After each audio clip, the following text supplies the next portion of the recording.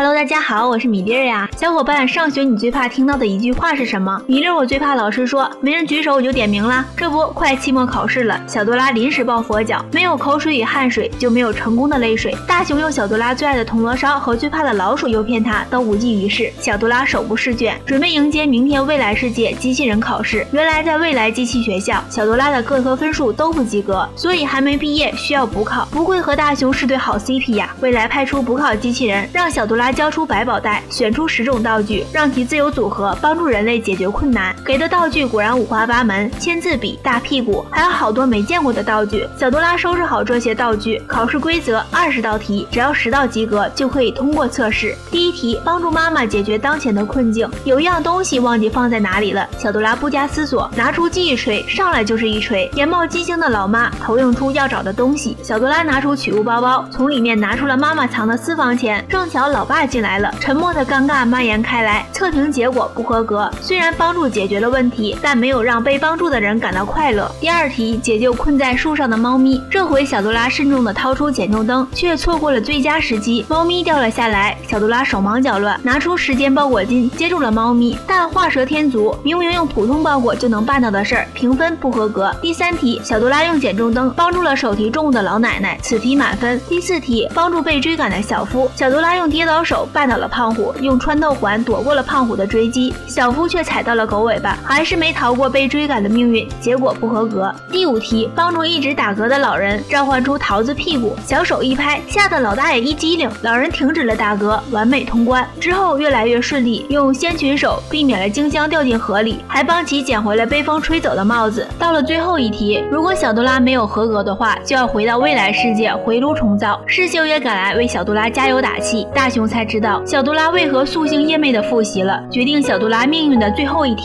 是帮助大雄摆脱困境。小夫和胖虎来找大雄算账，这突发情况让小多拉方寸大乱，翻了一大堆道具都用不上。无论是爱情还是友情，要的是一世而不是一时。为了小多拉永远的留下，大雄想要自己努力，挑逗胖虎两人钻进水泥管。倒霉狗子的尾巴差点被胖虎踩秃噜皮，再次上演绝命大逃亡。测试官被他们共同努力解决问题的做法所感动，看来小。小多拉是通过测试了呀，没想到结果为不合格。举不正不可为方，规不正不可为圆。虽然很感动，但不能徇私舞弊。小多拉要回到未来去了，即使不再拥有，也要笑着道别。小多拉还是欣慰，大雄学会了依靠自己，说好的永远在一起，却终究还是分离。小多拉离开了，夜深人静，大雄对小多拉的思念半分不减，愈演愈烈。突然抽屉震动，小多拉钻了出来，义愤填膺地说：“学校把他和狸猫机器人搞错了。”大雄的哆啦 A 梦又回来了，他是大雄的哆啦 A 梦，也是我们永远的蓝胖子。蓝胖子会陪伴大雄多久呢？你们说，好朋友会永远在一起吗？